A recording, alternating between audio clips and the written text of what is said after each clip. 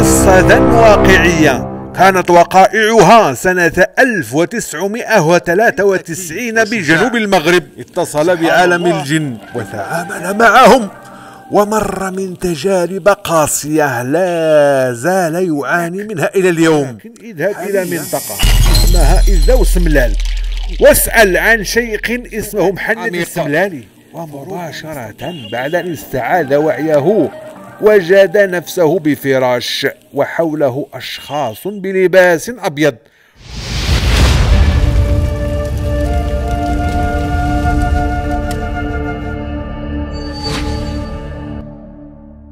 السلام عليكم ورحمة الله تعالى وبركاته عائلتنا الكبيرة في قناة علم أسرار الباطن. سعيد جدا باللقاء معكم من جديد. اليوم يوم مختلف بإذن الله لأني سأروي لكم قصة واقعية كانت وقائعها سنة 1993 بجنوب المغرب. سبحان الله فكرة القصة قد جاءت من أحد أحبابنا من المنتدى. يقول لك روينا قصص وسوينا كذا فأنا حجيب لكم قصص واقعية. من عوالم الجن. خلينا من القصص الخرافية والخربطات. أنا بجيب لكم إن شاء الله بإذن الله مرة مرة قصص واقعية جدا جدا وحصلت بإذن الله. وقصة اليوم واقعية كما قلت كانت وقائعها سنة 1993 وكانت بجنوب المغرب. قصة شاب ذكي وشجاع اتصل بعالم الجن وتعامل معهم. ومر من تجارب قاسية لا زال يعاني منها إلى اليوم. حاليا يقيم بفرنسا ولا يزال متبوعا من العالم الخفي. تواصلت معه تقريبا قبل أسبوعين. يقيم في مدينة ليل. عالم الجن عالم خطير. سأحاول بإذن الله تعالى أن أروي لكم القصة كاملة اليوم. فإن لم أستطع سأقسمها على اثنين. أبطال قصتنا. أولا الشيخ العكراشي توفى سنة 1995 شيخ قليل الكلام وقر ولكنه كان عالما روحانيا قويا. وبطله الثاني هو حمزة. حمزة هو مساعد الشيخ العكراشي مختفي منذ وفاة الشيخ. يعني الوقت اللي توفى الشيخ العكراشي حمزة اختفى وكان خادم مخلص جدا للشيخ العكراشي. آه، بطل القصة الحقيقي هو زكريا. أنا أخذت اسم مستعار لأن الاسم الحقيقي لا أريد ذكره. وكان صحفيا بجريدة أسبوعية. كان صحفي سنة 1993 شاب شجاع ويؤمن بالمنطق فقط. وفيه الأخير هو الشيخ جلول الشيخ جلول أو الشيخ الجلالي مختفي منذ وفاة الشيخ العكراشي. هذا الشيخ الجلالي سبحان الله كان شيخا ساحر أو كان شريرا يتعامل مع الشياطين السفلية. سأبدأ بسرد الوقائع. سنة 1993 اتصل الصحافي زكريا بمساعد الشيخ الروحاني المشهور الشيخ العكراشي. يعني زكريا اتصل بحمزة قال له طيب أنا عاوزك ترتب لي موعد مع الشيخ وش أنا سمعت هنا الشيخ العكراشي هو من أقوى الشيوخ الروحانيين وكان فعلا الشيخ العكراشي في 1993 من أقوى الشيوخ الروحانيين شهرة في هذا التاريخ.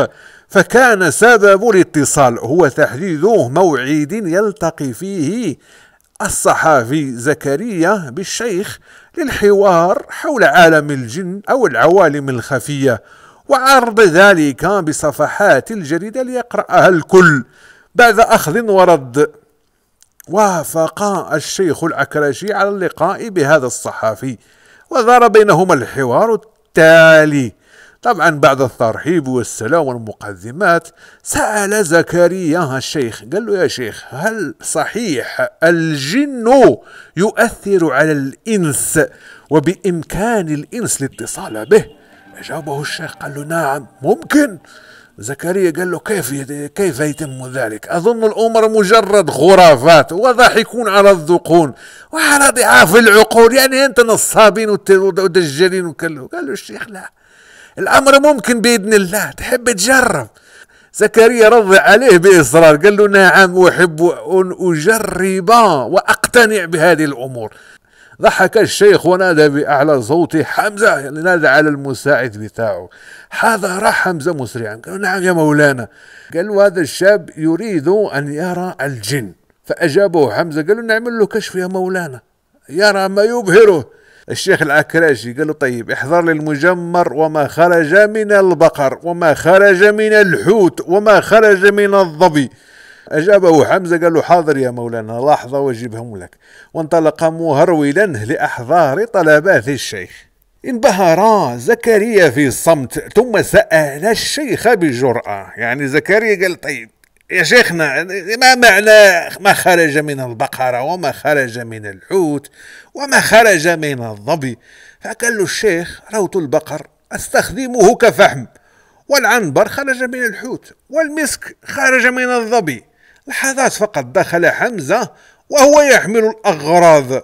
تبسم الشيخ وقال لزكريا قال للصحفي اقترب يا بني لا تخف. وكتب على كفه بعض الأسماء ووضعا كأسا بها ماء عليها قطرات من الزيت الأسود. بعدها الشيخ قال لحمزة ابدأ بالتبخير وأمر زكريا بوضع الكاس على الكف المكتوبة والتركيز على نقطة الزيت الموجودة بالكاس. ثم بدأ بقراءة بعض الأسماء والأقسام. لحظات فقط صار يصيح زكريا هذا الصحفي قال له يا شيخ النقطة بتكبر. بلا هي بتكبر بتكبر بتكبر لسه بتكبر. صارت مثل قرص الخبز يعني صارت النقطة كبيرة. تابع الشيخ القراءة وزكريا يصف للشيخ ما يرى. وثم انتفض زكريا من مكانه وقال أرى قطتين صغيرتين بالدائرة. قال له لا أنا شايف رأس رجل. قال له لا لا مش رأس رجل أنا شايف رجل كامل. إنه يشير لي بكفيه ثم ينحني كأنه يريد أن يحييني. بل إني أسمع في أذني كأن أحدا يقول لي السلام عليكم. ديك الساعة أوقف الشيخ العكراشي القراءة وقال لزكريا وهو ينظر إليه. خلاص اقتنعت. قال له زكريا بغرور الصحفي صحفي. يا شيخنا وهل تسمي هذا حضور الجن؟ أعتقد أنه مجرد هلوسة من هذه البخورات. ثم ضحك الصحفي بخبث كأنه يستحث الشيخ أن يقوم بما هو أكبر من هذا. فهم الشيخ ديك الساعة قصد زكريا. فهم قصد تاع الصحفي. قال له خلاص ولا عليك أنا بوريك. ثم نادى بأعلى صوته حمزة! أجاب الخادم. جاء حمزة بيجري هذا الخادم بتاعي الشيخ. قال له الشيخ شيل هالأشياء كلها. السيد زكريا يريد الحضور مباشر لأنه لم يقتنع. بهت حمزة المساعد بتاع الشيخ قال له يا شيخ حيروح فيها. لأنه ليس روحاني أصلا. وديك الساعة الصحفي زكريا رد عليه قال له أخي حمزة لا تخف فأنا رجل قلم وعلم ومنطق وأريد فعلا أن أرى ما يبهر حتى أقتنع تماما. رفع حمزة كتفيه المساعد بتاع الشيخ وقال للشيخ إذا شيخنا أريه أحد الخدام. يكون في صورة قط أو أفعى حتى لا ينبهت. ديك الساعة ضحك هذا الصحفي زكريا قال له قط إيه وأفعت مين يا حمزة؟ أنا عاوز أشوف جن. ديك الساعة ضحك الشيخ حتى بانت نواجده. وقال لحمزة آمرا قال للمساعد بتاعه أغلق الأبواب وأطفئ الأنوار وأحضر لي شمعة الحكمة. فأجابه الخادم حمزة فورا أمرك مولانا وهرول مسرعا لتلبية طلبي الشيخ. زكريا ينتظر وينتظر يريد فعلا ما يبهره ولا يعلم أنه سيدخل بوابة العالم الثاني من أوسع الأبواب. حاضر حمزة مساعد الشيخ وبيده شمعة مصنوعة من عسل النحل. ومكتوبة بطلاسم غريبة. قال الشيخ لمساعده أشعل الشمعة وانصرف واغلق الباب خلفك. لبى حمزة طلب الشيخ فورا وأشعل الشمعة وانصرف. فين من بقى جوا البيت؟ من بقى جوا الغرفة. بقي الشيخ والصحفي زكريا. وقال الشيخ لزكريا الآن سأريك ما يبهرك. قرأ الشيخ في سره لمدة خمس دقائق. وقال اكشفوا الحجاب بينكم وبين زكريا بن فلانة. الآن! وصار يقول للواحة أجل ساعة. فظهر لزكريا فورا الصحفي صار يشوف رجل طويل القامة أسود اللون ذو شعر طويل ولباس غريب. صار يشوفه قدامه واقف. ذيك الساعة فقد فورا زكريا. الصحفي فقد صوابه خوفا وبدأ بالارتعاذ والارتعاش. وتصبب عرقا وقفز بدون وعي خلف الشيخ خائفا. كاد قلبه أن يخرج من بين أضلاعه. ضحك الشيخ ذيك الساعة وقال له انصرف أيها العون بحق ما جئت له طائعا. فاختفى ذلك العون بإذن الله وكأنه السراب. استرجع الصحافي زكريا رشده وهدأ باله وقال للشيخ أهذا من الجن؟ ضحك الشيخ. وقال هل تشك؟ قال زكريا لا يا شيخنا ولكني خفت منه كثيرا. قال الشيخ إنه العون المعين وهو غير مؤذي وأنت خفت منه وأنا صرفته. انبهر زكريا وطلب الانصراف على أمل أن يعود يوم الغد للقاء بالشيخ مرة أخرى. وافق الشيخ قال له السلام عليكم قال له وعليكم السلام. بكرة باجي قال له إن شاء الله بكرة بتيجي. وحي زكريا وقال له يلا بكرة إن شاء الله بنلتقي. تشتت عقل زكريا. خرج من البيت بتاع الشيخ العكراشي وعقله مشتت. تشتت عقله عميقا في هذا العالم لأنه كان لا يؤمن به أصلا. وبينما هو في طريقه إلى منزله. شاهد ابنه الصغير. عنده كان عنده ابن اسمه ماجد. يهرول في الشارع. شاهد ابنه يهرول في الشارع. بسرعة كبيرة. واستغرب قال طيب كيف ابني يكون في هذا المكان بعيد عن المنزل بخمس كيلومترات وليس معه أحد؟ ناداه صار زكريا يقول له ماجد ماجد عشان يوقفه.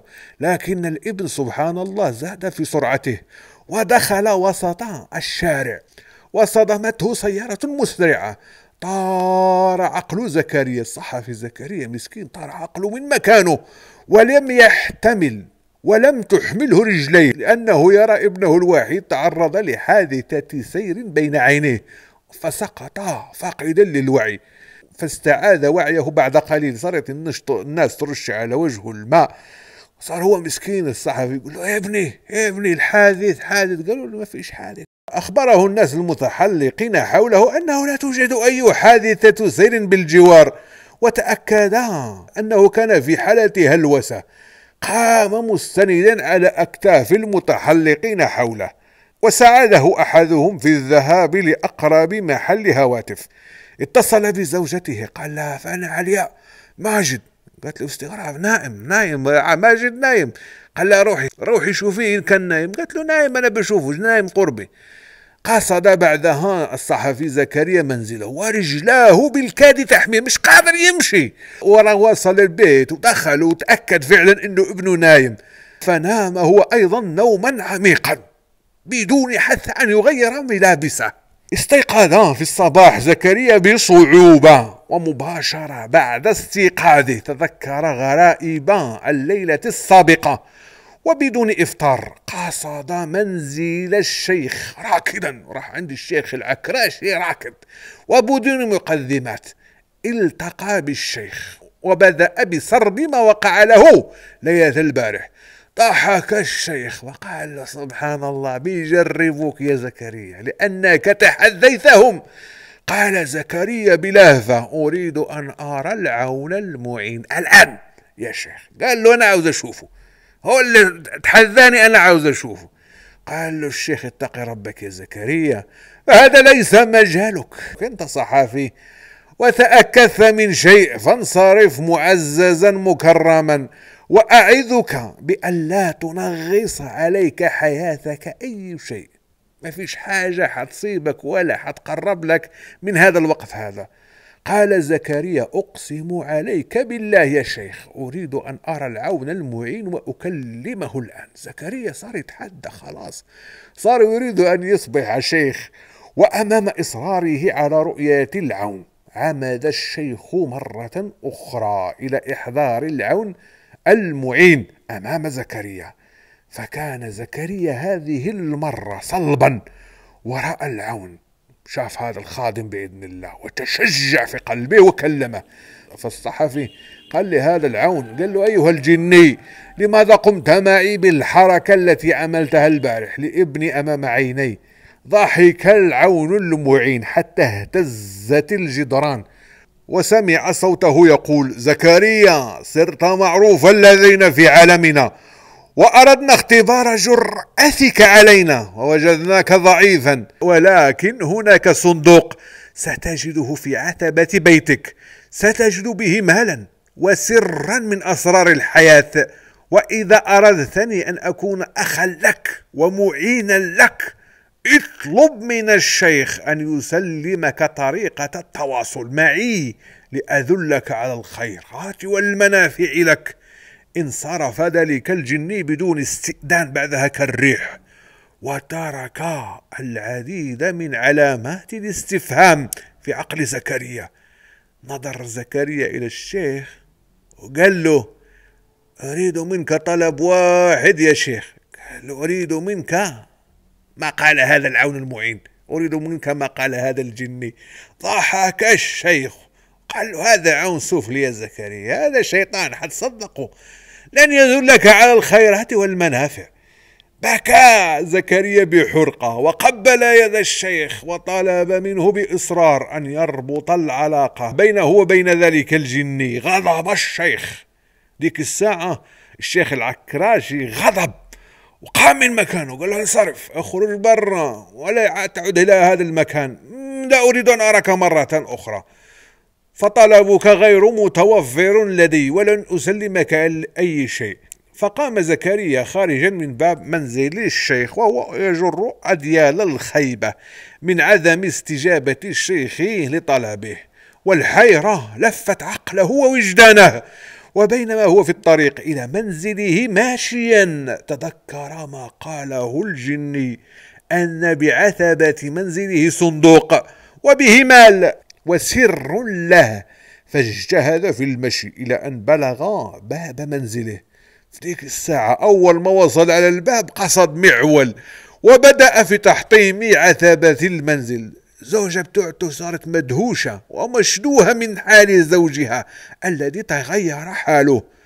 وفعلا بعد أن ضمر عتبة باب المنزل وجد صندوقا حديديا صدئا وبه قطع من الماء القديم وجلد قديم ملفوف فيه خاتم من النحاس الأحمر. دخل بيته وبدأ في تنظيف ما وجد وزادت حيرته إلى حيرات كثيرة لا يعرف لها جواب. دخل إلى بيت من بيوت منزله وأشعل شمعة وبدأ في إحضار العون المعين. صار يقول له يا أيها العون المعين أترجاك أن تحضر لي أتوسل إليك أن تنزل عندي. صار يفرق في الخاتم. يعتقد أنه خاتم لما يفرقه حينزل عنده العفريت. لكن لا حضور ولا جواب ولا أي شيء. اتصل بهاتف الشيخ. وترجى خادمه حمزة أن يمرر له الشيخ ليكلمه ولكن بدون فائدة. الشيخ رفض. شيخ العكراشي رفض بشدة أن يتكلم مرة أخرى مع الصحفي زكريا. دخل الصحفي زكريا في ذيك الساعة في حالة من الثوهان والحيرة. فهو الشخص الذي لا يقتنع بفكرة وجود الجن أصلا. يعني تقول له الجن يقول لك أنت مهبول أنت مجنون في عقلك. ولكنه سبحان الله دخل إلى هذا الباب لا كان لا يقتنع بالشيوخ ولا يقتنع بالسحر. يعتبر الأمر فقط مجرد ضحك على الذقون. يقول لك هذا بيضحكوا على ذقون الأغبياء من الناس. اليوم فقط سقط هو أيضا فريسة. لعالم خفي ومجهول. عالم تختلط فيه الحقيقة بالخيال ويختلط فيه المعقول بالله معقول ويختلط فيه الواضح بالخفي.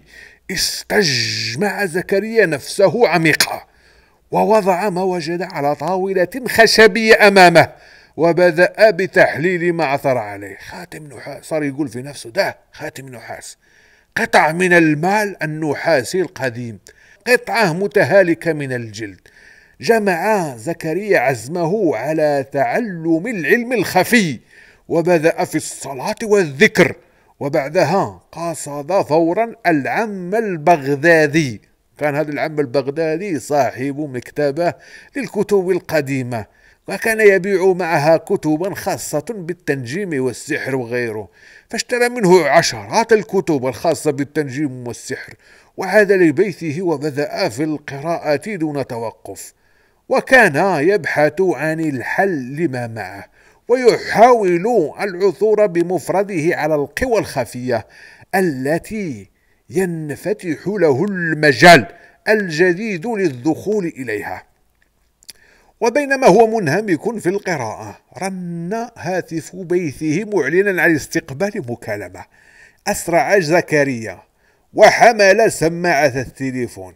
وكانت فرحته عظيمة جدا حينما وجد مساعد الشيخ على الهاتف يأمره بالحضور فورا لمقابلة الشيخ العكرشي جمع زكريا كامل قوته وهرول بأقصى سرعة إلى بيت الشيخ. وكله أمل في انقضاء ما حلم به.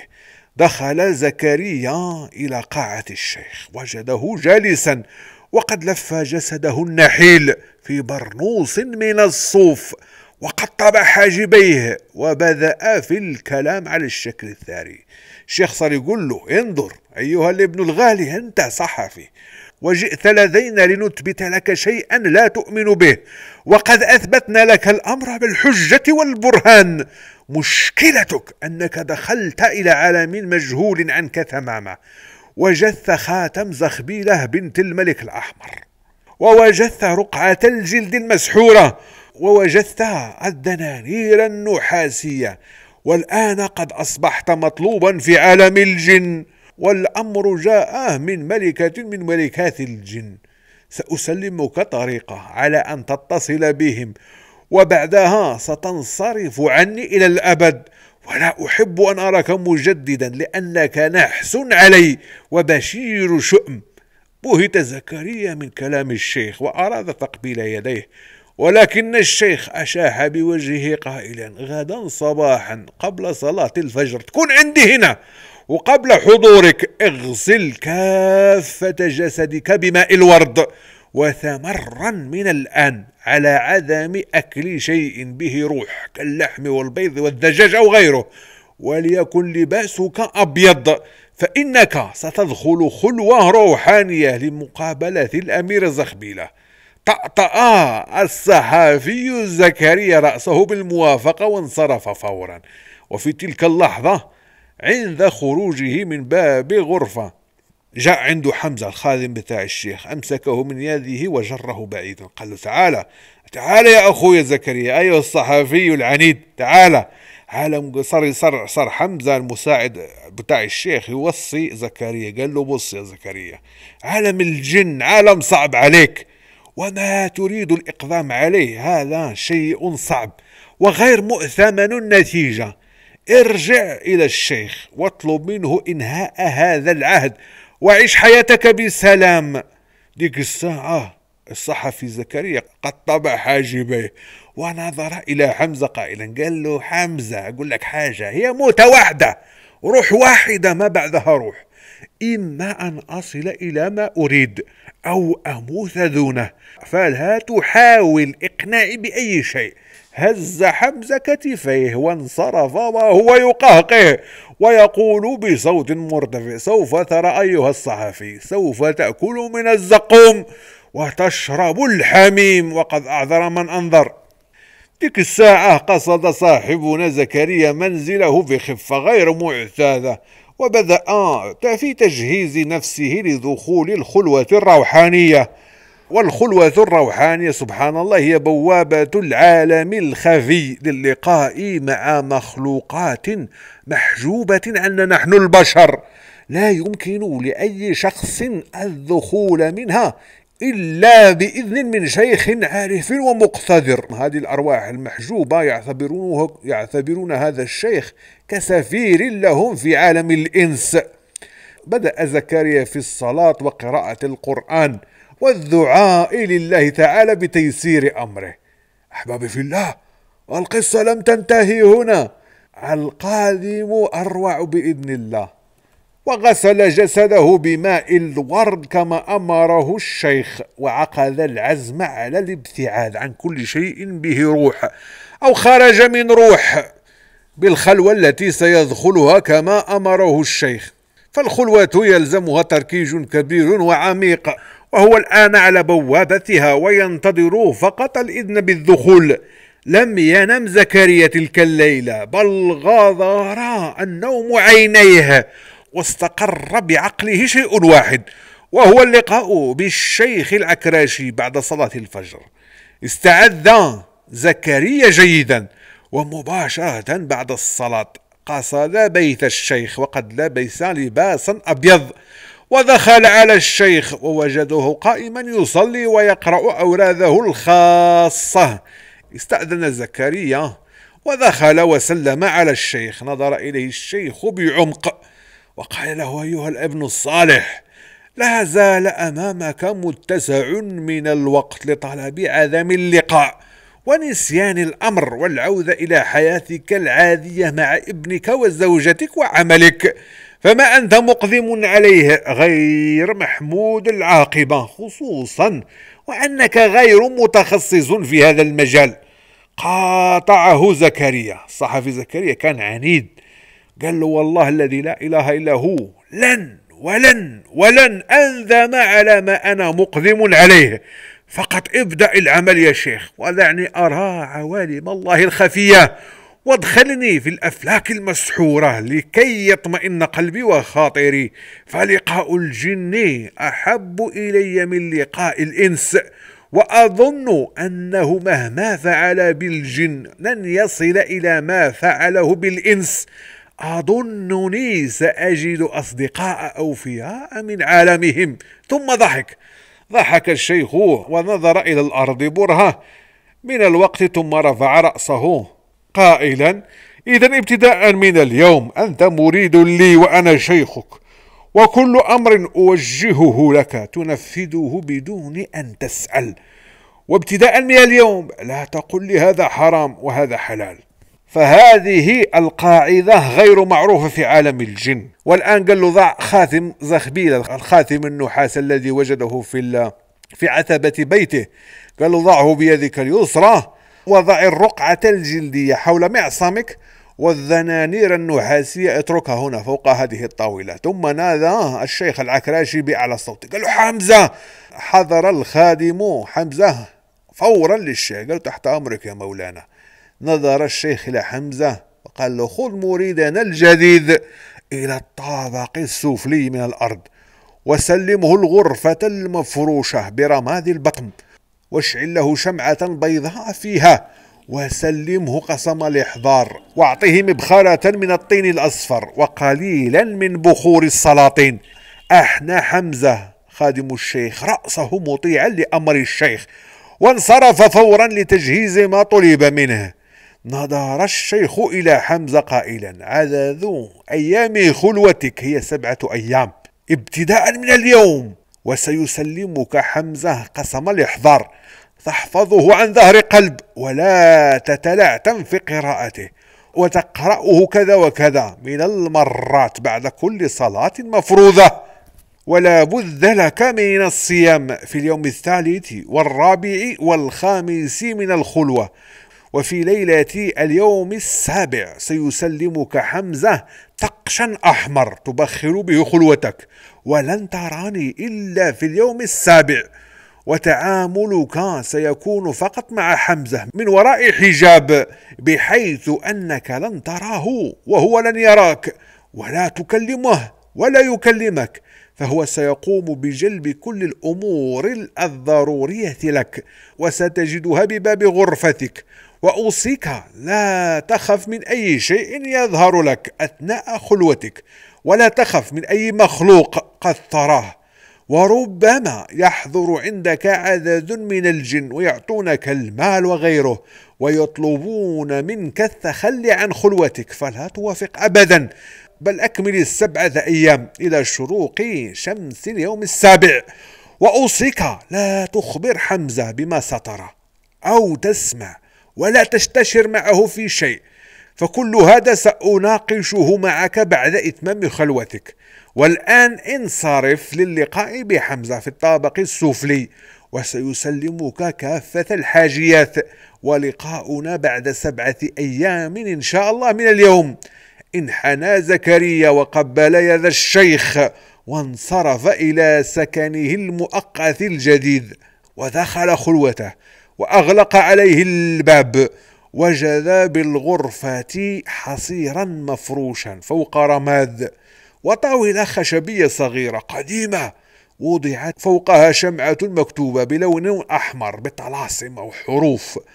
لم يلتفت إليها بل نظر فقط إلى الورقة التي سلمه إياها حمزة ووجد بها أسماء مكررة ودعاء وعدد سطورها خمسة أسطور فقط. اجتهد الصحفي زكريا في حفظها وبدأ في قراءتها بالجهر تارة وفي السر وبالسر تارة أخرى وأثناء ذلك غلبه النوم ورأى رؤيا عجيبة أدهشته وطيرت له ما بقي في عقله.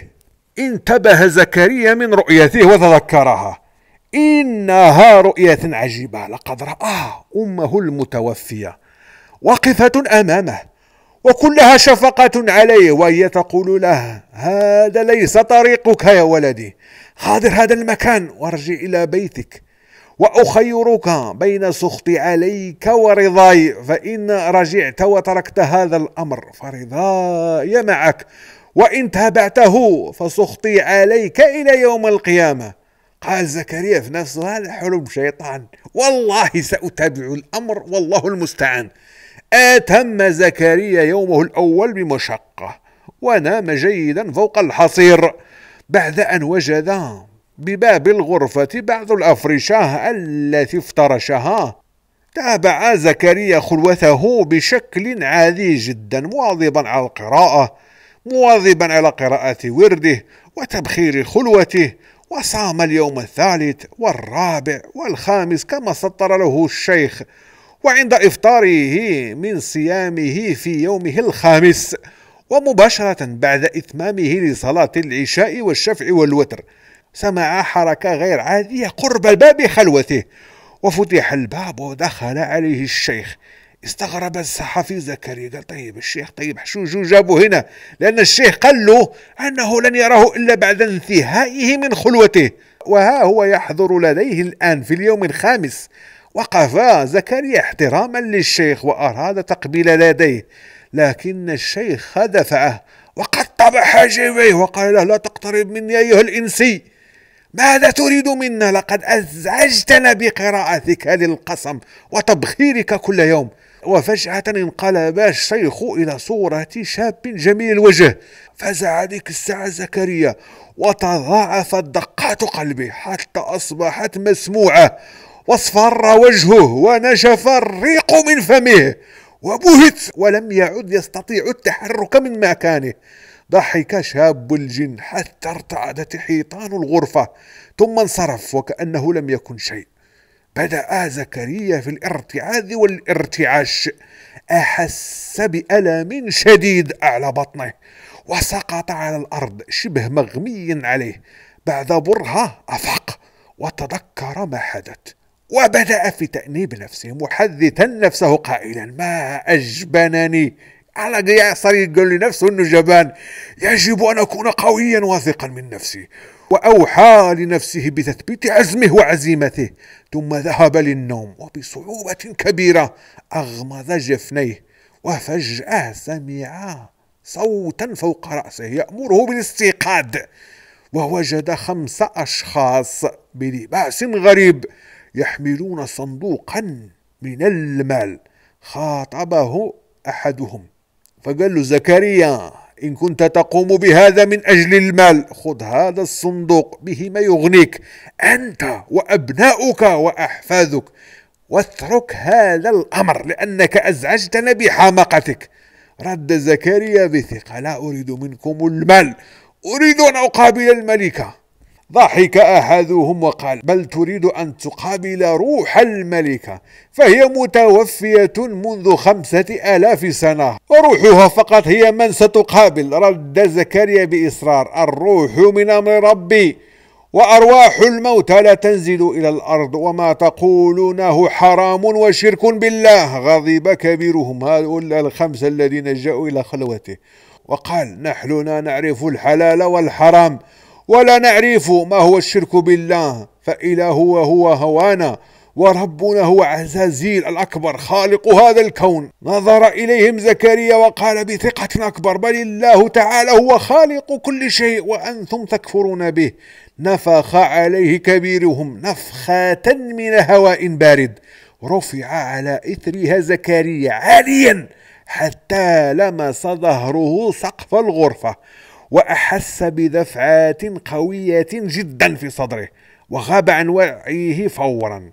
بعد مدة من الزمان استيقظ زكريا على لفحات برد قارس وآذان الفجر لكنه ليس في غرفته إنه فوق الأرض وفوقه السماء مباشرة.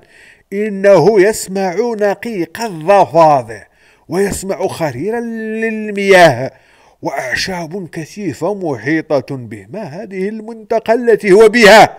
انتبه زكريا وقصد ضوءا بعيدا شيئا ما. صار يقول أنا بحلم. انتبه. وقصد ضوءا بعيدا شيئا ما. إنه مسجد. يسرع بخطواته نحوه. يقول أنا بحلم. خلاص هذا حلم. وفي عقله ألف علامات استفهام ما هذه المنطقة؟ كيف وصلت إلى هنا؟ لو هذا حلم مش حلم.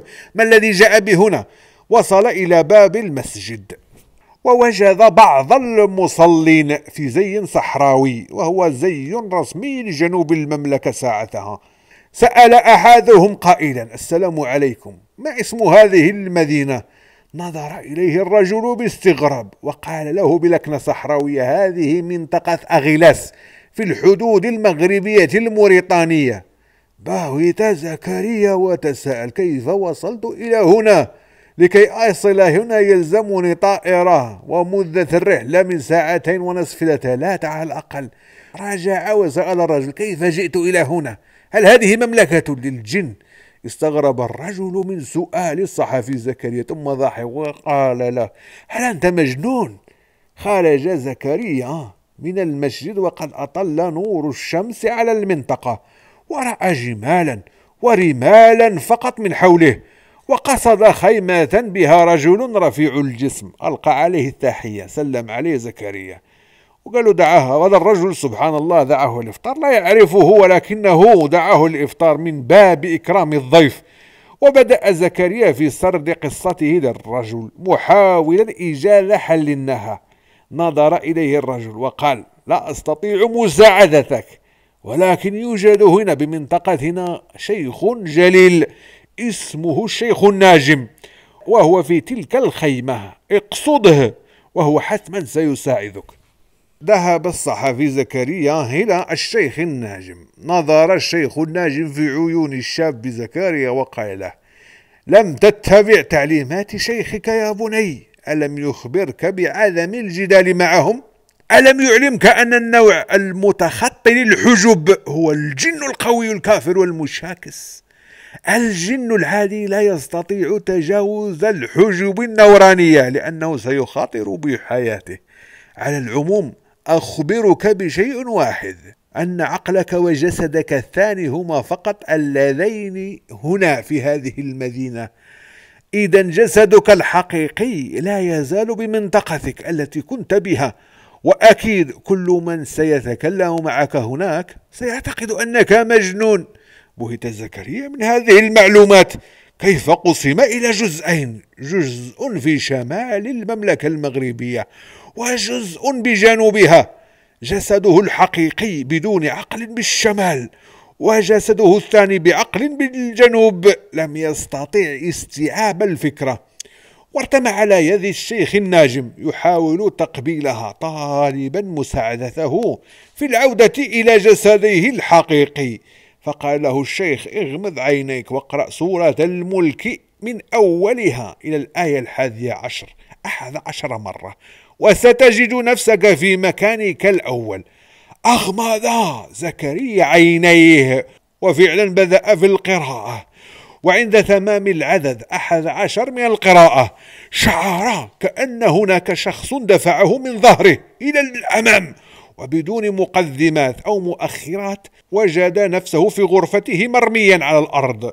وشعر أنه كان يحلم فقط لكنه حلم حقيقي.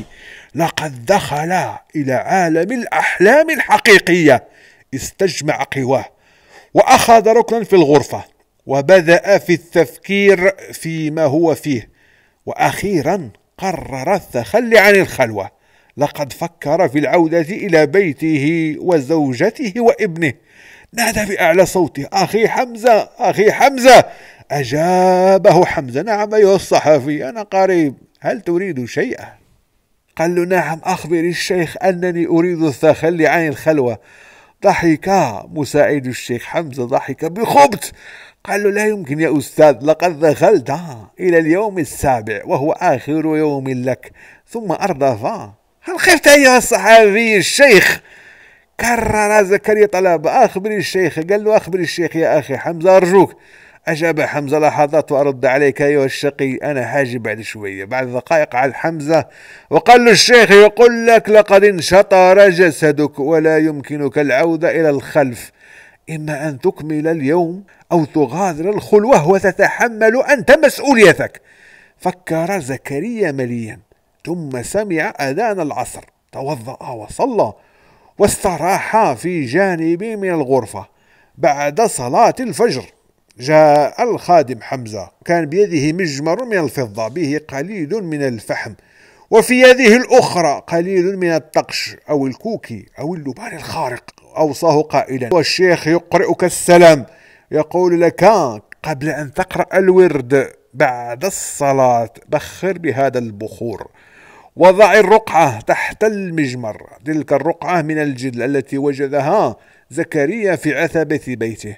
وعند آخر خيط من البخور ارمي الخاتمة في النار. أجاب زكريا إن شاء الله. وفعلا نفذ كل ما طلب منه بالحرف الواحد وعند وضعه للخاتم بالنار. سمع صوتا كالرعد بالغرفة وسمع صوتا من أسفل المجمر يقول له السلام عليك يا زكريا بن فاطمة. رد السلام قائلا وعليكم السلام. زاد نور الشمعة الشمعة كان نورها صغير شر كبير بين الغرفة. وظهرت له شابة لباسها أحمر. قائلة مرحبا بك زكريا بن فاطمة. أنا الأمير زخبيلة بنت ملك الملوك الأحمر.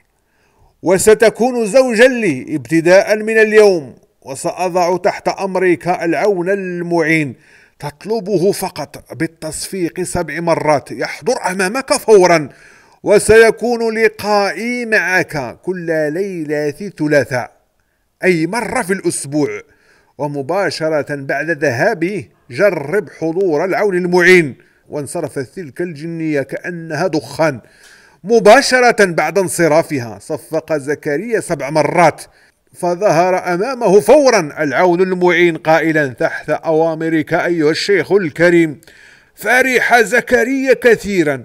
واعتقد أنه وصل إلى قمة المشيخة أمير من الجن زوجة له وبمجرد التصفيق يحضر له خادم من الجن يلبي كافة طلباته خرج زكريا من خلوته وتوجه إلى الشيخ دون استئذان. دخل عليه الغرفة قائلا مولانا الشيخ بوركت لقد ثمت خلوتي وسأغادر هذا المكان. لقد صرت شيخا مثلك تماما وربما أقوى منك.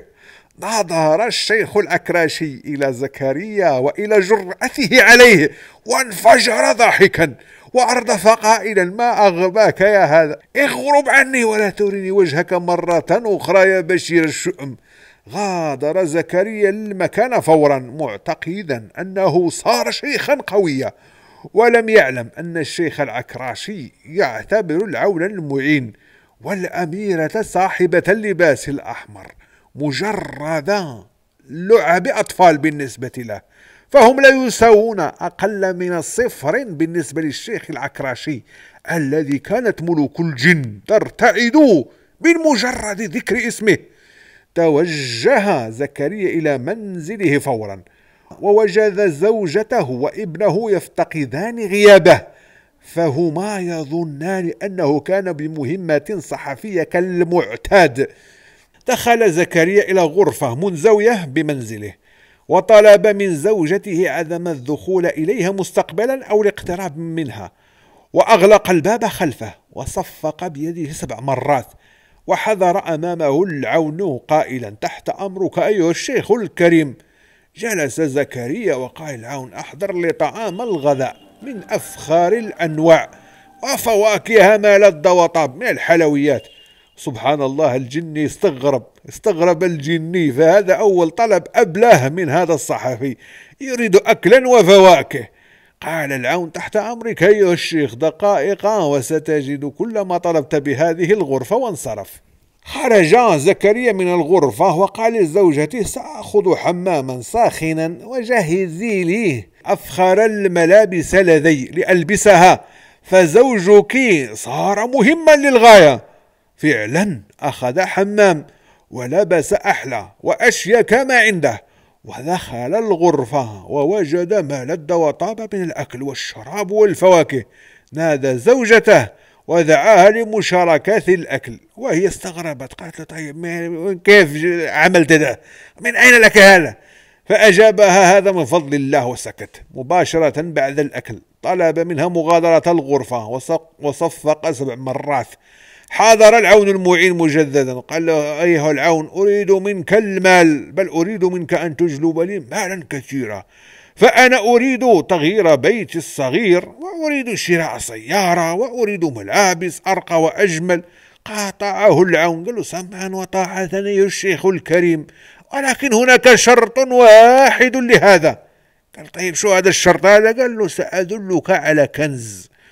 وستقوم باستخراجه وسأساعدك في ذلك. وبه مال يغنيك ويغني أبناءك وأحفادك إلى ألف سنة. ولكن قبله يجب عليك زيارة شيخ الشيوخ لتأخذ منه الإذن. قاطعه زكريا قال له هل أنا لست شيخا؟ قال العون لا بد من زيارة الشيخ وهو يقطن بمنطقة إغرم.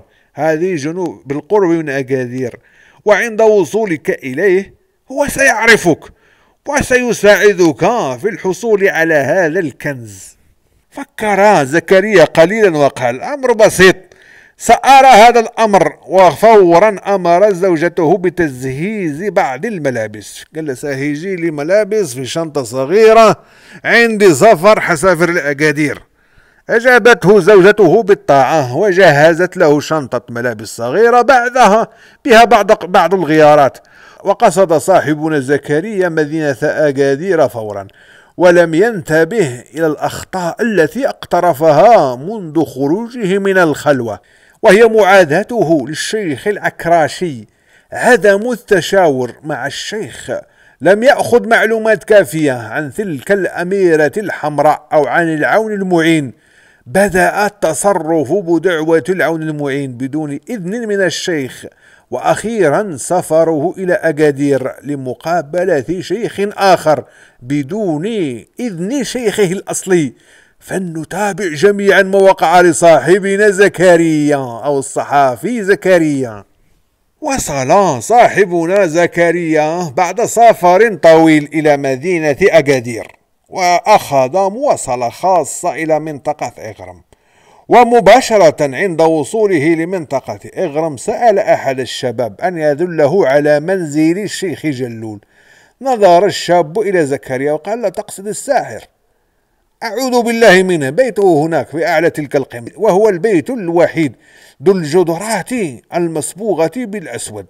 صعد زكريا إلى الثلة وقبل أن تلمس يده الباب لأجل التنبيه وجد الباب يفتح لوحده وامرأة عجوز وراء الباب تقول له تفضل يا زكريا الشيخ ينتظرك.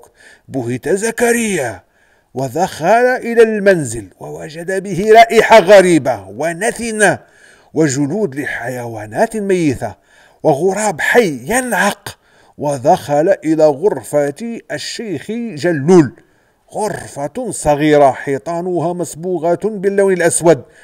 وعلى الجدران رسمت طلاسم بالذم. وخلف طاولات وضعت عليها العديد من البخورات. رأى الشيخ جلول ذو الثمانين سنة خلف الطاولة. رجل طائن في السن التصق جلده على عظمه وغارت عيناه في رأسه ولكنه لا يزال يتوفر على ذلك الصوت القوي. نظر الشيخ جلول إلى زكريا قال له أرسلك لدي العون المعين. ثم ضحك. طأطأ زكريا رأسه قال له نعم يا مولانا لقد أرسلني العون المعين. نظر الشيخ جلول مرة أخرى إلى زكريا نظرة ثاقبة وقال له جئت تريد كنز السنديانة. إنه كنز كبير جدا يا بني. به ياقوت وبه ألماس وذهب وسيوف من الذهب مرصعة بالياقوت إنه يساوي الملايير بعملتنا الحالية. ثم ضحك. قال الصحفي زكريا للشيخ جلول سأخذ يا مولانا ربع الكنز وأترك لكم ثلاثة أرباع. أنت شيخنا ومولانا وحان ما عنديش مشكلة. وهالثلاث أرباع جزاء لمساعدتك. ضحك الشيخ جلول. حتى غرورقت عيناه بالدموع وقال له الكنز هدية لك يا ولدي. أنا لا أريد شيء ولا يهمني المال ولا أي شيء. أنت الذي تريد المال أيها الشاب. ثم أرضف يا زكريا هناك ثلاث شروط لكي تحصل على كنز السنديانة. أول شرط تشرب من الماء الذي يخرج من فم هذا التمثال. عنده تمثال في البيت قال له اشرب من الماء اللي بيخرج من الفم بتاعه. ثاني شرط قال له تصلي في جهة المغرب وليس إلى المشرق. حتصلي في جهة الغروب وليس في الشروق حديك الكنز. قال له طيب والشرط الثاني قال له الشرط الأخير أنك ستذكر اسم الجلالة معكوس 66 مرة. نظر زكريا إلى الشيخ جلول قال له طيب وقال له وقد أغره الطمع. وهل إذا قمت بهذا سيفتح الكنز؟ أجابه الساحر جلول بالتأكيد. زكريا أخذ مكان فكر قليلا ثم قال له أنا موافق يا شيخ. ضحك الشيخ جلول بأعلى صوته وأصابت زكريا رائحة نتنة خرج من فم الساحر. في ذيك الساعة صار زكريا يتساءل مع نفسه يقول يا إلهي. طيب ده يلبس ملابس قديمة ورائحته تزكم الأنوف وبيته كأنه متصل بالمواسير ورائحة فمه لا تطاق. طيب ده وشيخ ده أخذ الساحر جلول تمتم الخشب كان بالقرب منه ووضعه أمامه وقرأ عزيمة شيطانية وقال بعدها أيها الرب الكريم اعطف على هذا العبد وأسقيه من ماء الحياة ليكون أحد أتباعك. وفورا خرج ماء نقي من فم الثمثال وطلب الساحر من زكريا شرب الماء فورا وبدون تردد. وفعلا نفذ زكريا أمر الساحر وشرب الماء ومباشرة بعد انتهائه من الشرب أحس بوخز قوي جدا بين كتفيه. فأخبر الساحر بالألم الذي يشعر به. فقال له الساحر جلول ألف ألف مبروك. لقد تم قبولك من طرف الأرواح. الآن الآن فقط. صل إلى اتجاه الغرب ركعتين وبعدها اذكر اسم الجلالة معكوس 66 مرة. وتعال قربي بعد انتهائك. أجاب زكريا سمعا وطاعة يا شيخ. نفذ زكريا الأمر وحذر قرب الساحر جلول الذي عانقه وقال له ستحمل المشعل من بعد أيها الشاب. أنت اختارتك الأرواح لتكون خليفة لي بعد موتي. سيكون تحت أمرك ألف من الشياطين المسترقة للسمع وألف شيطان من خدام السحر وألف شيطان من المردة المعتدين. قاطعه زكريا قال له مولانا مولانا أنا لا أريد هذا الجيش من الشياطين. أنا أريد الكنز فقط أنا جاي من مدينتي لعندك عشان الكنز أريد الكنز فقط. نظر إليه الشيخ بغضب وقال له سوف تتبع الأوامر وإلا سأأمر الجن بجلدك حتى تفهم. خرج زكريا من بيت الساحر جلول وابتعد مهرولا ولكنه أحس بشيء غريب. كلما ابتعد من بيت الساحر كلما زاد الوخز بين كتفيه بشدة وكلما رجع باتجاه البيت زاد الوخز تلقائيا. خرج الساحر أمام بيته ورأى زكريا يتلوى من الألم أمامه فضحك بخبت وقال له ادخل أيها الغبي ستصبح غنيا وحاكما لشرذمة من الشياطين ولا تريد دفع الضريبة. دخل زكريا إلى بيت الساحر من جديد وقال للساحر جلول سيدي أنا لا أريد لا كنز ولا جن ولا شياطين أريد من فضلك وكرمك أن تزيل عني هذا الوقت الذي أحس به في ظهري. ضحك الساحر جلول بقوة وقال له أتظننا نلعب يا هذا؟ وغضب غضبا شديدا وقال كلمات شيطانية وأردف بعدها اجلدوا هذا الغبي الأحمق اجلدوا هذا العبد الأحمق فورا. شعر ساعتها الصحفي زكريا بضربات السياط تنهال عليه من كل مكان والساحر واقف يضحك بشدة. حتى سقط زكريا على الأرض مهدودا فاقدا للوعي. بعد ساعات من ذلك قام زكريا زاحفا على يديه ورجليه قائلا للساحر جلول يا شيخنا إذا وافقت على ما قلت لي وصرت شيخا من بعدك ما الذي سوف أستفيد منه؟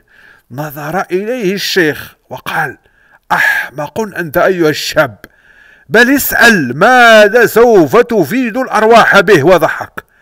أما ما ستفيد به الأرواح ستكون سفيرا لهم في عالم الإنس وتستطيع بمجرد الأمر صرع وقتل أي شيطان أو أي جني أو حتى أي إنسان.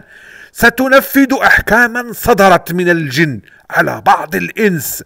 بواسطة السحر ستكون لديك قوة مطلقة في العالم وستنعم باحترام البشر مثل تماما. نظر زكريا إلى الشيخ وقال وهل تجد نفسك محترمة؟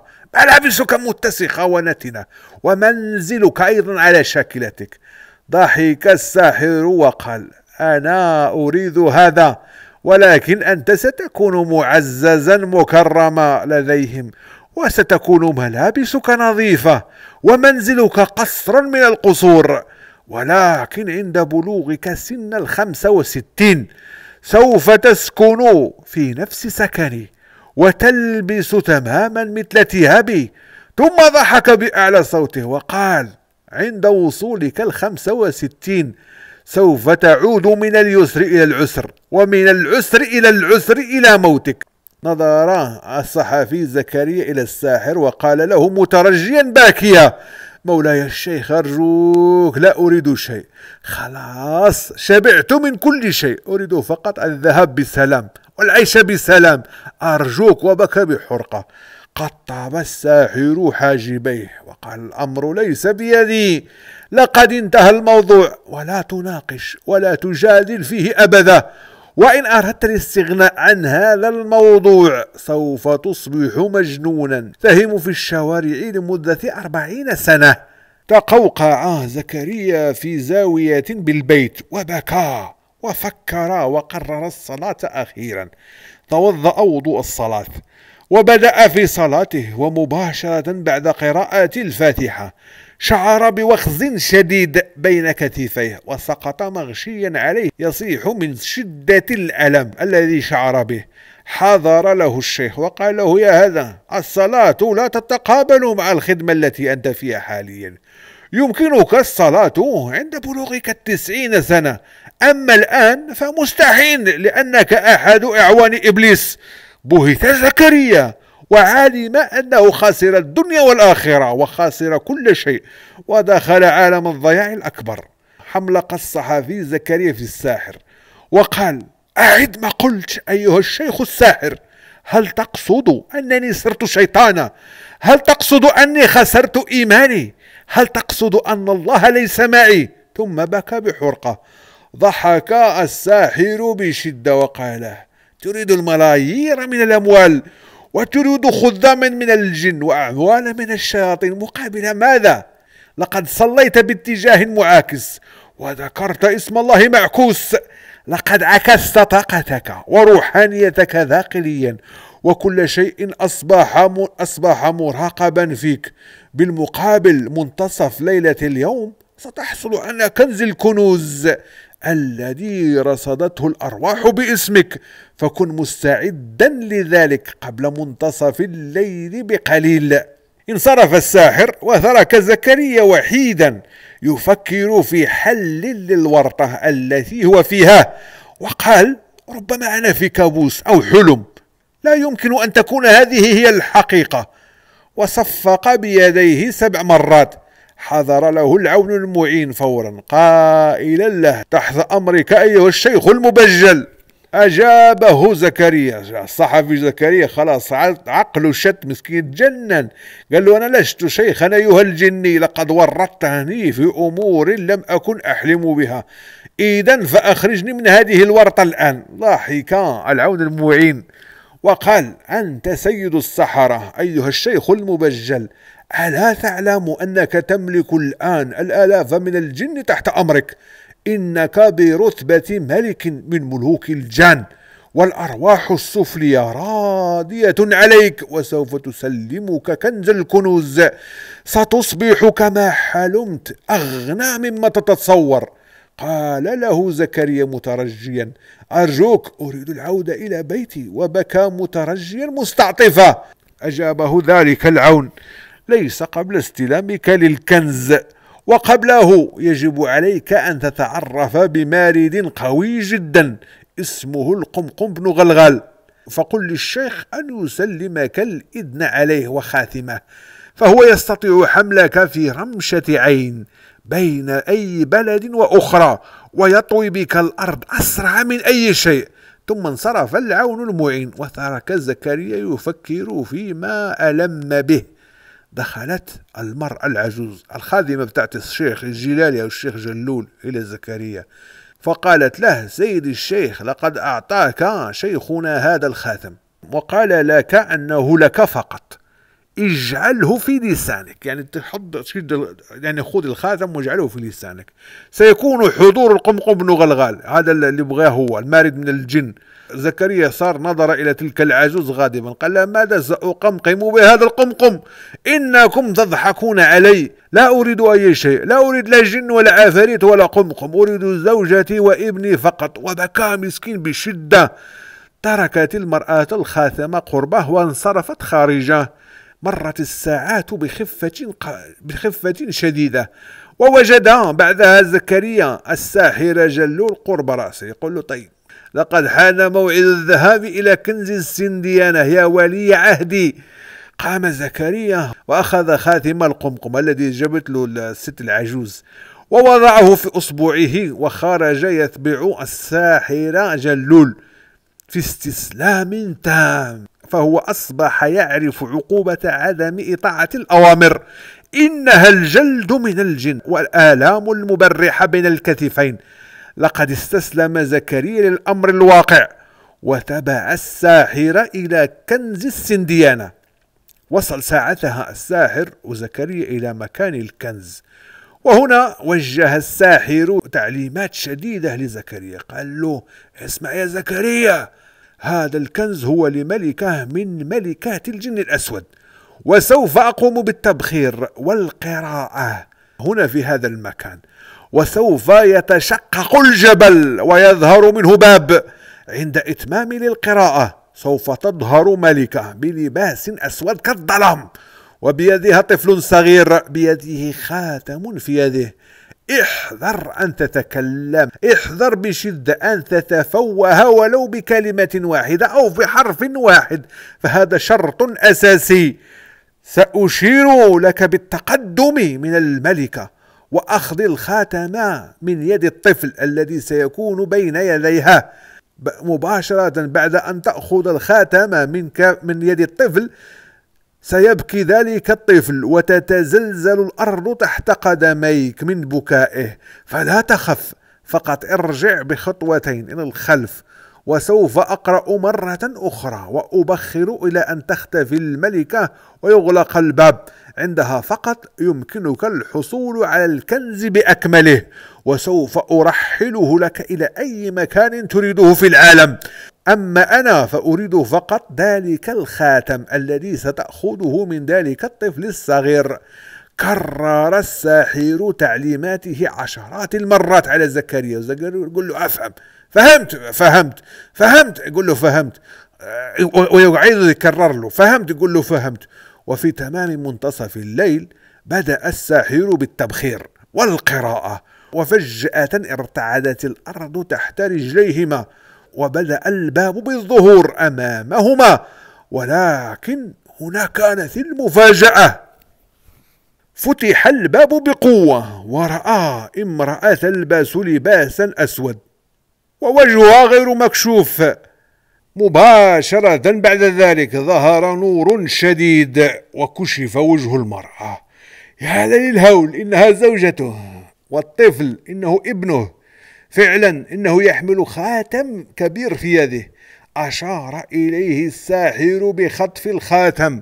ولكن المرأة تكلمت وقالت احذر يا زكريا إنهم يكذبون عليك الخاتم به روح ابنك. إن خطفته من يده سوف يموت وأخذت بالبكاء وتراجعت بخطوات إلى الخلف. أشار إليه الساحر بأنه من كيد الجن وأن ما تقوله ليس حقيقة. ولكن زكريا غرورقت عيناه بالدموع وصاح بأعلى صوته لا إلا زوجتي وابني في تلك اللحظة. انقلبت المرأة إلى شيطان أسود والطفل إلى قط أسود والخاتم بيده. تبع الساحر المرأة ساحر جلول تبع المرأة والقط داخل المغارة وأغلقت عليه المغارة. أما زكريا فأحس بريح عاصفة قوية دفعته للخلف وأو وأوردته مغشيا عليه في جدول من المياه. استيقظ زكريا بعد ساعات وقد ظهرت الشمس في كبد السماء ووجد نفسه مبللا بالماء والساحر غير موجود في المنطقة. عاد عدة التبخير التي كانت بسفح الجبل. عاد زكريا منهك القوى إلى بيت الساحر وطرق الباب.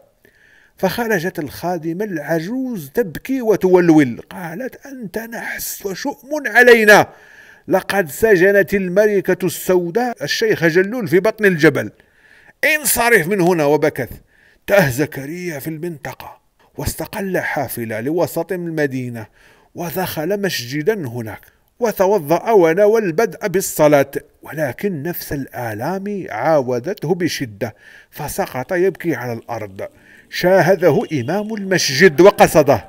قال له ما بك يا بني؟ إن زوى, إن زوى زكريا وإمام المسجد بركن به.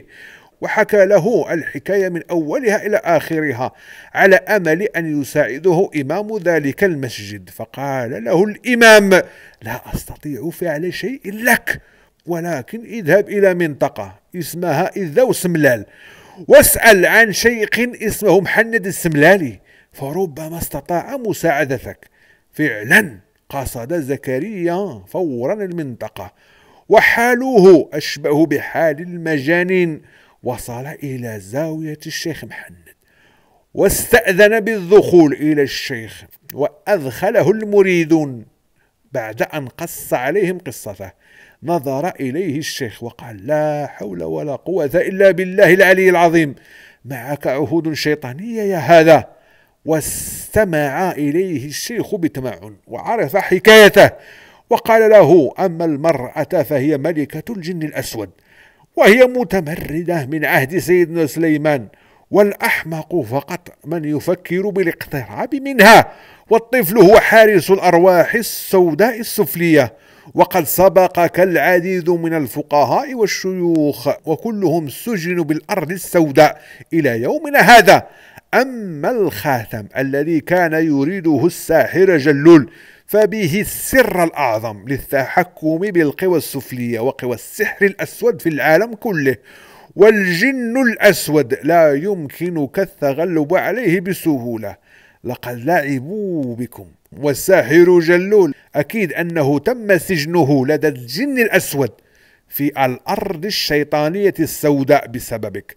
ولن يطلق سراحه أبدا ولو تدخل الشيطان شخصيا لذلك.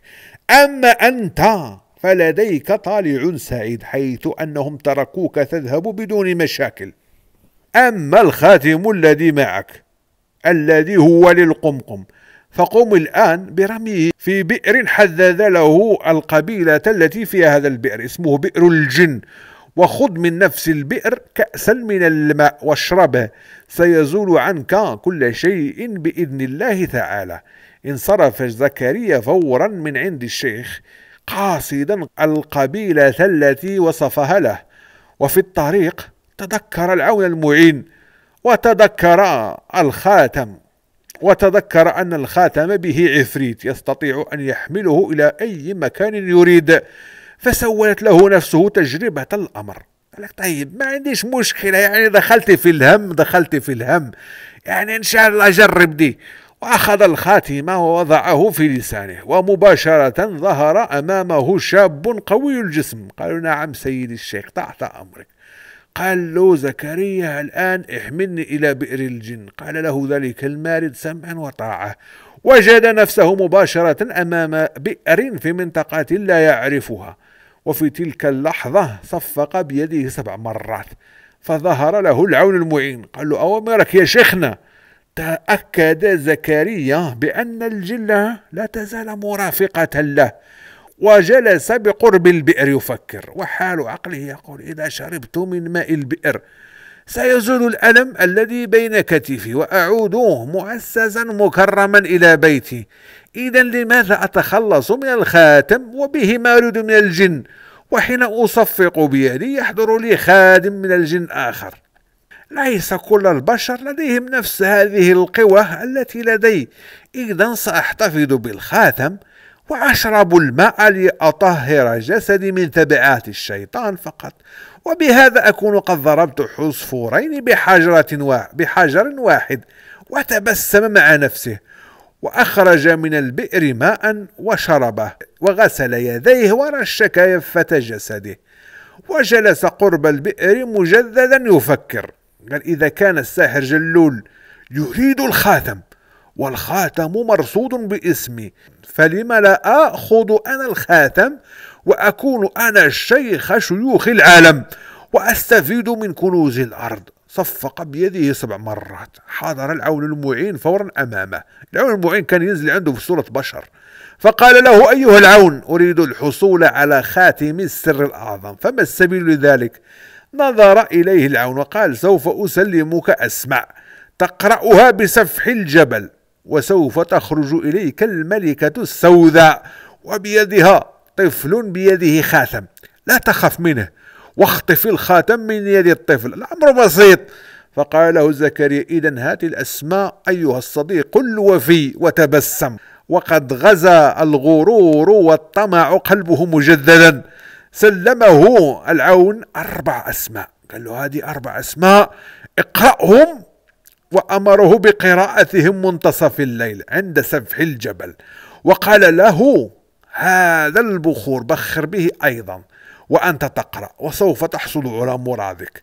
تبسم زكريا وقوى هذه المرة قلبه وقصد المكان وانتظر هناك إلى منتصف الليل مباشرة بعدها. أشعل جمرا وبدأ بالتبخير وقراءة الأسماء. لحظات فقط. اهتزت الأرض تحت رجليه وظهر الباب وفتح ولحظات بعدها. ظهرت الشيطان السوداء وبيدها الطفل. لم تتكلم بكلمة واحدة هذه المرة. اقترب منها زكريا بحذر وهي أخذت ترجع للخلف. فكلما خطى هو للأمام خطوة خطت هي للخلف خطوتين حتى أصبح داخل المغارة بأكثر من خمس أمتار. وفجأة انقلبت الشيطانة إلى صورة أمه وجلست على الأرض والطفل بيدها وهي تبكي بحرقة قائلة إن الشياطين تلعب عليك يا زكريا وعلى عقلك اتق ربك وتب إليه وعد إلى زوجتك وابنك أنا أمك التي تريد لك الخير. فهم زكريا اللعبة ولم يتكلم ولكنه اقترب من المرأة. وأراد خطف الخاتم من يد الطفل فقالت له بلهجة قوية ارجع إلى الوراء وإلا حرقتك أيها الإنسي. لكن زكريا قوى قلبه وخطف الخاتم بقوة من يد الطفل الذي بدأ بالبكاء. بقوة اهتزت لها جدران المغارة وسمع صياحا وعويلا قويا جدا بقلب المغارة فارتجف قلبه وخاف خوفا شديدا. وظهرت له أشباح وأرواح تقترب منه لدرجة قوية جدا. وقال أعوذ بالله منكم أعوذ بالله منكم أعوذ بالله منكم. فطار الخاتم من يديه وضحكت الشيطان بقوة. وقالت لقد نسيت أنه لا يجب عليك أن تنطق بأي كلمة وهذا جزاؤك. ضرب بقوة مع الحيطان فغاب عن الوعي تماما. استعاد زكريا وعيه واستيقظ وكأنه كان بسبات عميق ومباشرة بعد أن استعاد وعيه وجد نفسه بفراش وحوله أشخاص بلباس أبيض والعديد من الأجهزة الطبية في يديه وصدره. فقال لهم من أنتم؟ وأين أنا؟ أجابه كبيرهم قال له الحمد لله على السلامة. لقد استعدت وعيك وذاك وذاكرتك أخيرا. أنا الدكتور العلوي. أنا المتابع لحالتك. منذ أن أخبرتني الممرضة بنطقك وتحركك في الفراش وأنا هنا أترقب أن تفتح عينيك. قال له زكريا أين أنا؟ وما هذا؟ هل أنتم من الجن؟ ضحك الطبيب وقال أنت بالمستشفى المركزي بالدار البيضاء. وأنت فاقد للوعي منذ أزيد من ثمان سنوات واليوم عاد إليك وعيك. قال زكريا متعجبا ثمان سنوات غير ممكن. ما من جاء بهنا وأي سنة هذه؟ أجابه الطبيب هذه سنة 2001 لقد وجدك بعض الرعاة بسفح أحد الجبال بجنوب المغرب سنة 1993 وبك العديد من الكسور بالرجلين واليدين والظهر وحملوك إلى المستشفى المحلي وهم حولوك إلى هنا. ومنذ ذلك الحين وأنت فاقد للوعي إلى يومنا هذا. لقد وجدوا معك بطاقة تعريفك واتصلنا بعائلتك. وجاءت زوجتك لزيارتك لستة سنوات كاملة لكنها غابت عنا منذ سنتين تقريبا ولم تعد تحضر لزيارتك لإطمئنان عليك. ربما لأنها فقدت الأمل في استعادتك لوعيك فحالتك كانت خطيرة جدا. أما الآن وقد استعدت وعيك يلزمك بعض الترويض الطبي وسوف نراقب حالتك. ونعلمك بوقت الترويض. حاول زكريا النهوض ولكن كان في حالة شبه شلل وحتى الكلمات التي ينطق بها كانت ثقيلة جدا على لسانه ولكن عقله نشيط للغاية. سأل الطبيب مجددا هل أستطيع المشي؟ أجابه الطبيب يلزمك متابعة طبية وترويض لمدة ستة أشهر على الأقل. وبعدها سيتكلف أحد الأطباء المهتمين بحالتك لتسفيرك إلى فرنسا لدراسة حالتك لأنك بصراحة حالة نادرة. لقد كانت نسبة الهرمونات تتغير كل دقيقة بجسدك كما أن دقات القلب لديك تتضاعف إلى أربع مرات عن الشكل العادي وهو أمر غير طبيعي. بعد مرور أربع أشهر من الترويض والمساعدة الطبية استطاعت الحياة أن تذب في جسد زكريا من جديد واستطاع المشي. وبعد مرور شهر آخر استطاع المشي وذهب للسؤال عن زوجته. قال له الجيران إنها تزوجت من شخص أمريكي بعدما حصلت على الطلاق قبل سنتين وهم لا يعرفون لها العنوان لأنها سافرت إلى أمريكا. سأل عن أبوه فقال له أن أبوه قد توفي قبل خمس سنوات فبكى وغادر المكان. توجه لبيت الشيخ العقراشي فأخبره الجيران أن الشيخ قد توفي سنة 1995 ومساعده حمزة قد غادر لوجهة مجهولة بعد وفاة الشيخ. عاد زكريا إلى المستشفى وطلب الأغراض التي وجدت معه أثناء دخوله المستشفى. سلمته إدارة المستشفى كيس به بطاقته الوطنية وخاتم متحجر ودريهمات من المال. دخل غرفة المستشفى وصفق بيديه سبع مرات ولكن ليس هناك استجابة. العون المعين لا يرد عليه. كرر المحاولة مئة المرات بدون نتيجة. وضع الخاتم المتحجر في لسانه وأيضا المارد لا يظهر. لقد أصبح خاتما عاديا. إنه عديم الفائدة. لقد خسر كل شيء. صاح بأعلى صوته وبكى وانتحب. فحضر الممرضون لتهدئته. وأوصاه أحد الممرضين بالوضوء والصلاة. توضأ وحاول الصلاة ولكن عاد له الألم والوخز بقوة بين كتفيه وسقط مغشيا عليه مصروعا على الأرض. استنجد وبكى ووضعوه في فراشه بعد أسبوعين من ذلك. تم نقله إلى المستشفى الوطني بباريس كحالة خاصة تحت إشراف طبيب متخصص. كان يتابع دراسة تغيرات الهرمونات وتضاعف دقات القلب لزكريا كحالة خاصة.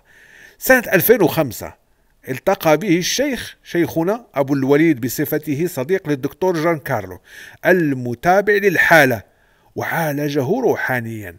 فلم يعد يتألم وقت الصلاة ولم يعد يشعر بالوخز بين كتفيه وأصبح يصلي ويقرأ القرآن بطلاقة وبدون مشاكل. الآن زكريا يعيش في مدينة ليل على نفقة الضمان الاجتماعي الفرنسي ولا تتوفر لديه أي أخبار عن زوجته وابنه ولكنه ليومنا هذا لا يزال متبوعا من عالم الأرواح السفلية عالم الجن الأسود انتهت هذه القصة وهذه القصة على فكرة حقيقية رواها لنا زكريا بنفسه. شكرا للمتابعة أتمنى لكم يوما طيبا والسلام عليكم ورحمة الله تعالى وبركاته. في المرة القادمة سأحكي لكم قصة حقيقية رائعة جدا. تابعوه إن شاء الله بإذن الله وسيكون كل الخير. تابعوا القناة ولا تنسوا الدعم والاشتراك إن شاء الله بإذن الله وكذلك مشاركة هذه القصص. شكرا لكم.